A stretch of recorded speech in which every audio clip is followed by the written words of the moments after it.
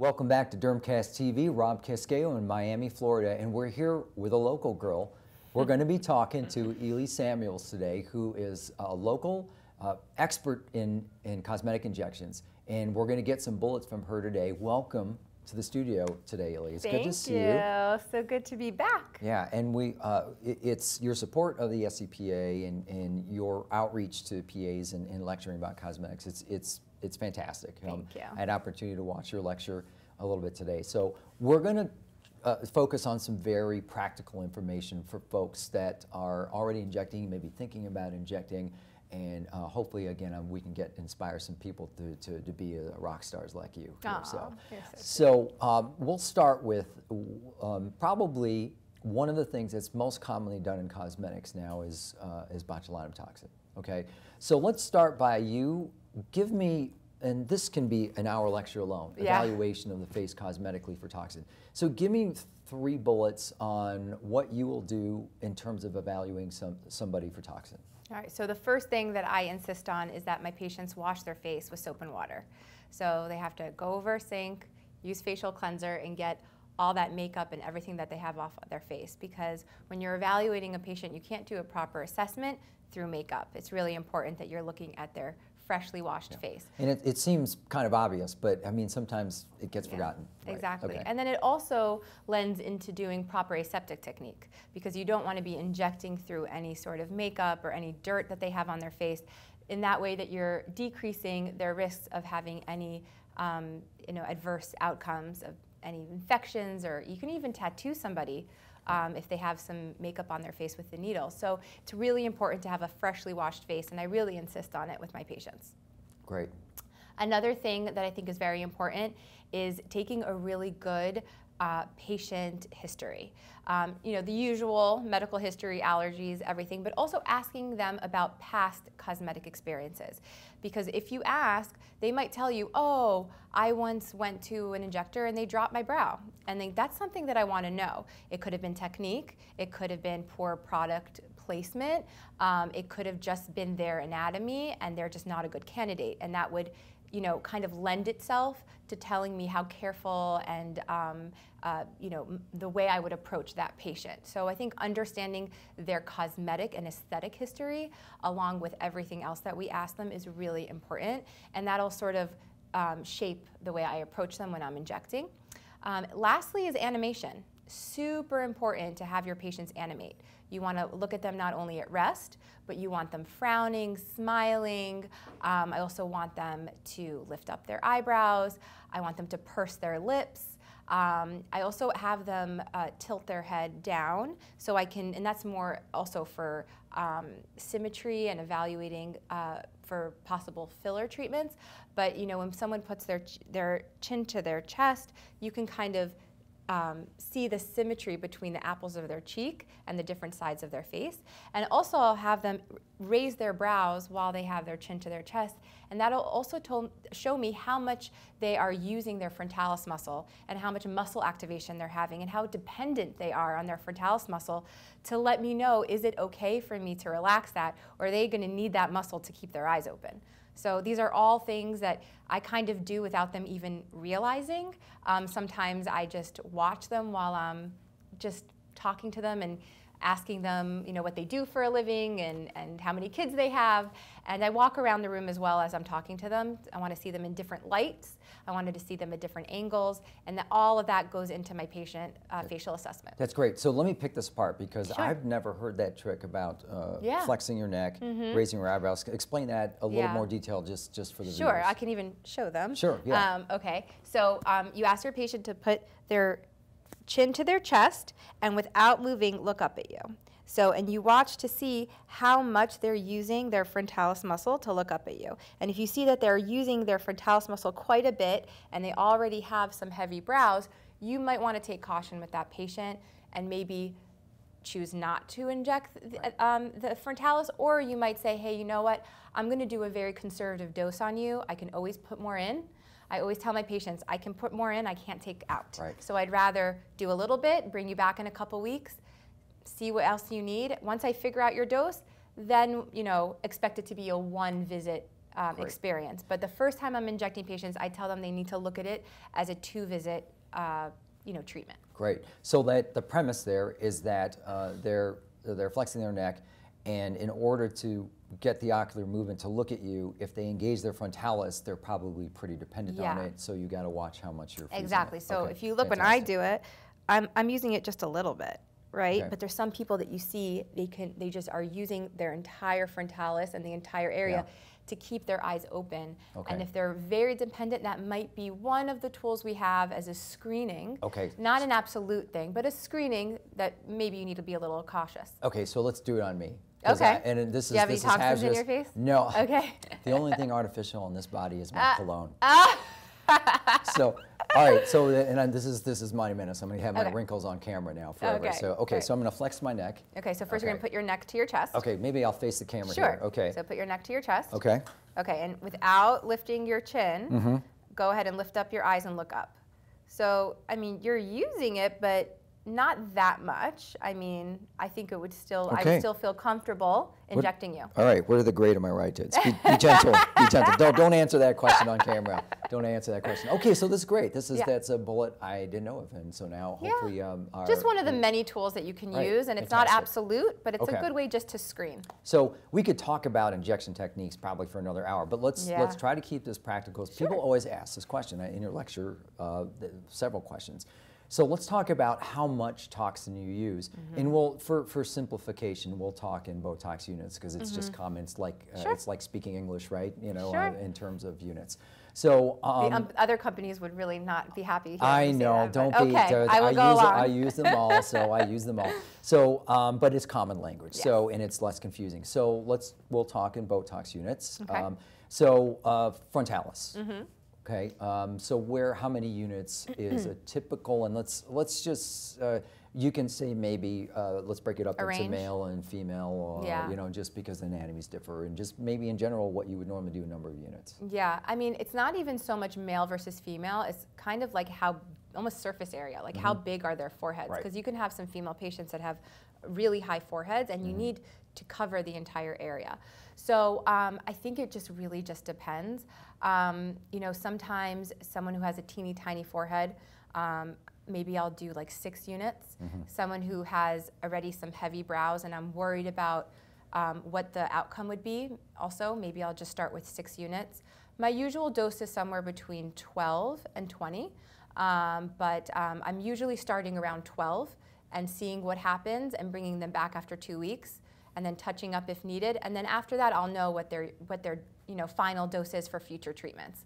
Um, but uh, I mean, I think when you're faced with a brand new patient that you're consulting for the first time, I think it's okay to be a little bit more on the conservative side because, again, you can always add additional units and then you'll know for the future, but you can never take out. Absolutely. So if there's any question about hooded eyelids, heavy brows, tiny little foreheads, I think it's okay to undertreat and have that conversation with them, warn them because you don't want them to go home after two weeks and be like, I don't like I don't like my outcome. If you tell them like you might not like this after two weeks and that's okay, I just want to do this in a little bit of a slower, um, Okay. incremental way. Right. They they appreciate that. Yeah. Absolutely. Okay, so that probably applies to every area, you Area. inject. Okay, so let's just talk numbers again. Glabella. Okay.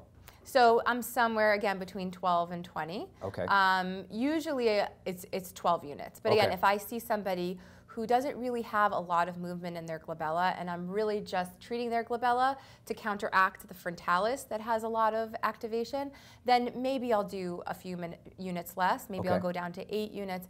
But in general, 12 units, um, and I also do a three-point injection. Three-point. Which, you know, some people do a five-point injection. So if So I'm doing five points, it would do, be more, but for a three-point injection, 12 units. So three point, you're So in the four, belly of the four, cor- four. Okay, got it. You're in the belly of each corrugator and then the and belly the of the procerus. And, I'm, okay. and I don't always do tails. If I'm going to do corrugator tails, then that would add on somewhere between another four to eight units, depending on what okay, I'm doing. got it. Okay, and crow's feet.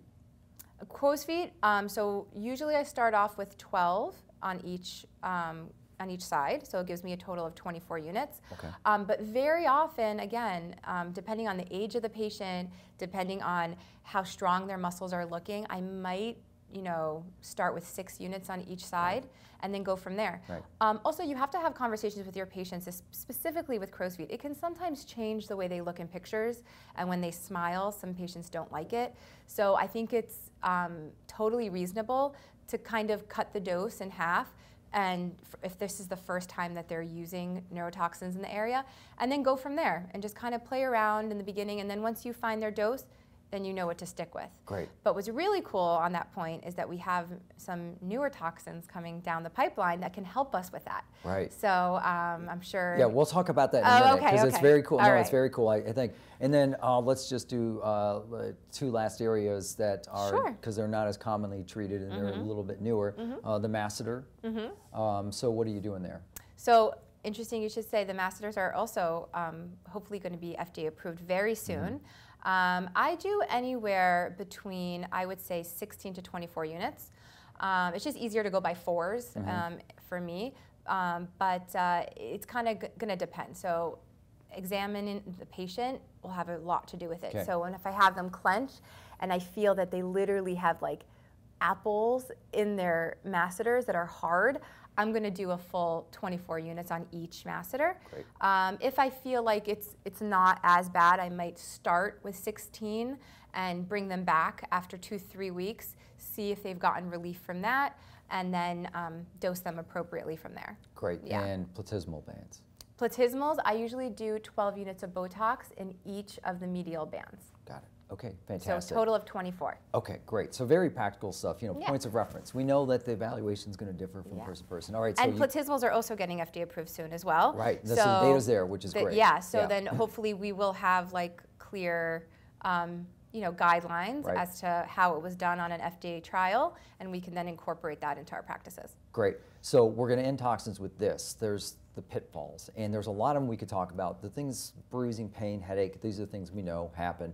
So let's talk specifically about ptosis. This is probably, um, you know, the most chided side effect because it's the, The, one that, scares all of yeah, us. and yep. and and uh, it happens. Yeah. So what are your um, what are your hints in terms of evaluating for that to avoid it, Mm-hmm. uh, and and what you do to avoid that pitfall? Yeah, so I think we've already basically touched on that. So Mm-hmm. um, having your patients animate, looking at how much hooding they have for their lids, looking at if they have low-lying eyebrows, how dependent they are on their frontalis muscle, um, and um, dosing appropriately. Okay. And okay, go ahead. So Yep. yeah, so that's those are all important. So let's talk specifically about technique. Mm-hmm. Yeah. Let's say you have somebody with a prominent epicanthal fold, you know, um, Mm-hmm. like like I do, like most Asians do, for instance, because it's problematic. You get that, you know, that but it's not true ptosis, right? It's just you sort of relax their epicanthal fold and it, it just sort of falls, and it's not really their whole eyebrow um, Mm-hmm. or their whole eyelid dropping.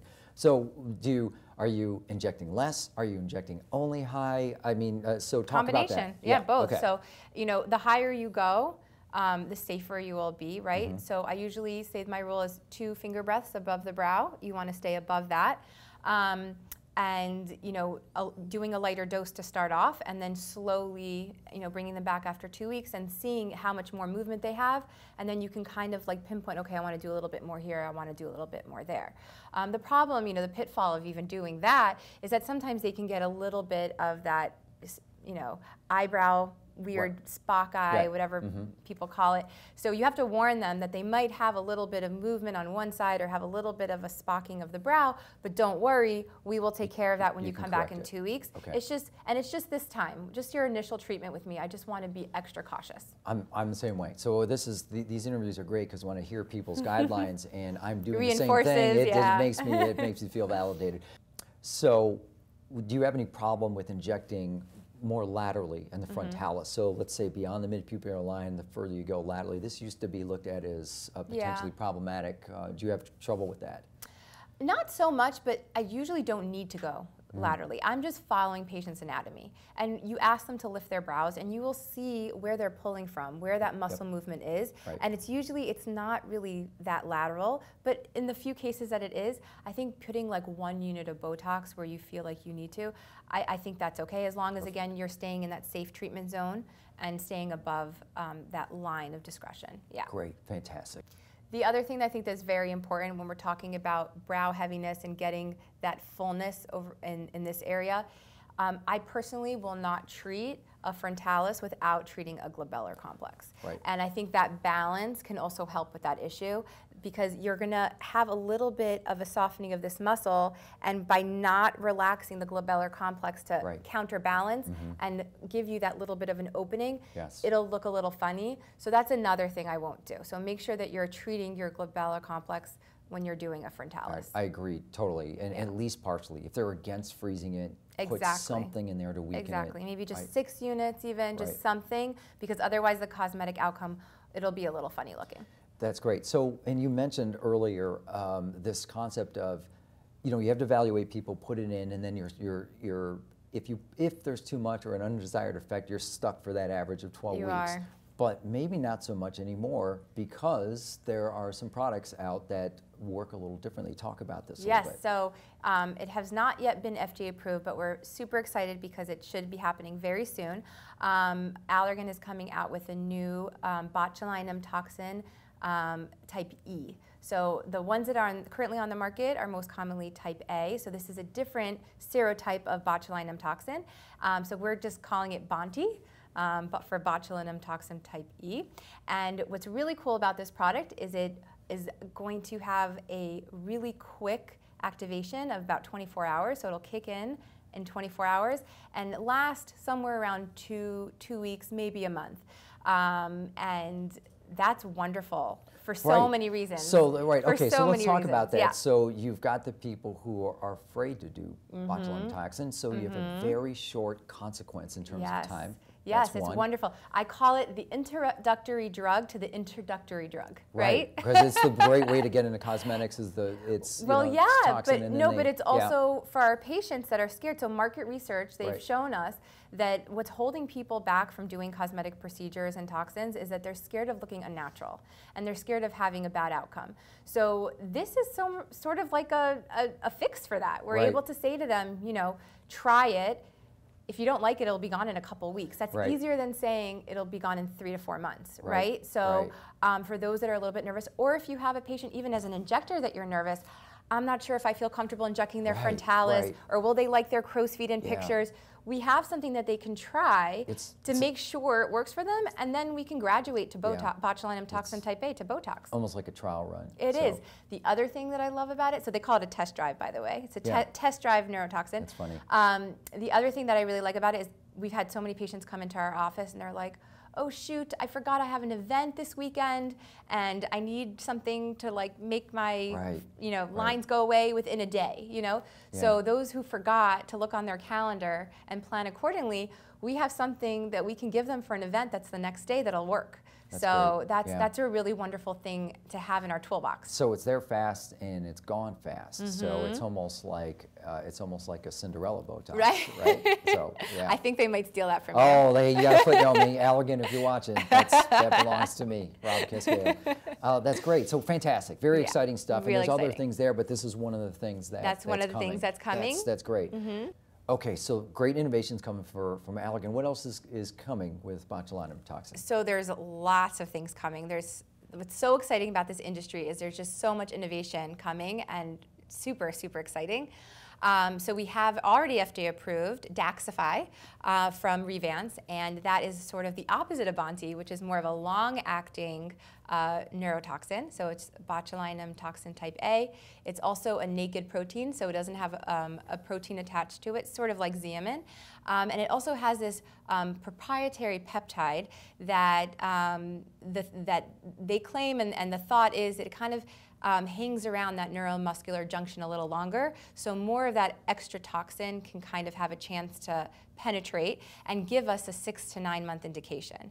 So this is Wow, okay. wonderful. I think will fit in our practices for those toxin fatigue patients um, that you know how to inject them. You've been injecting them for years. They're sick of having to come back every three months to give them more of a longevity.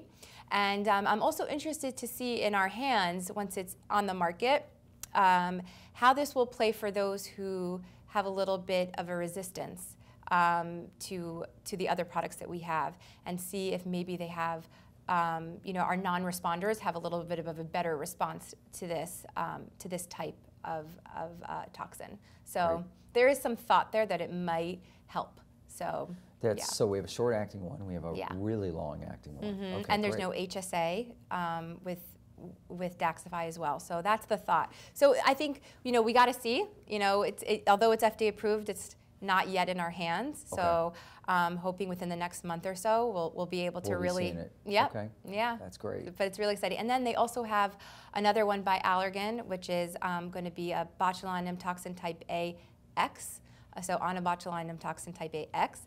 Um, and that X, we don't really know what it is. It's proprietary, but they're saying it's similar, that it's going to have lo- more longevity. So that's in the works as well. Okay. Um, and then we also have um, pre-filled um, uh, syringes coming down the pipeline. We also have um, uh, different neurotoxins that are al- already um, reconstituted for us, so you don't have to deal with the math and reconstituting. They're just like in the vial, and you can just draw it out ready to go, or whether they're going to be in the syringes and ready to go. So, so many things are coming, and it's really exciting. That's great. Yeah. Well, that's an awesome uh, view of uh, the current state of, Yeah. of botulinum and some great practical tips in terms of clinical treatment. So we're going to take uh, another, we're going to do another segment and talk Sure. a little bit b- about filler in detail, but this is a great start. Okay. So thanks for hanging around and hang around a little bit longer. We'll talk about filler. My pleasure. Okay, awesome. Bye, Thanks for watching. Thanks for watching the segment. Uh, Dermcast TV, Rob Casquejo with Ely Samuels. You can find her at Lip Lady of Miami uh, on Instagram.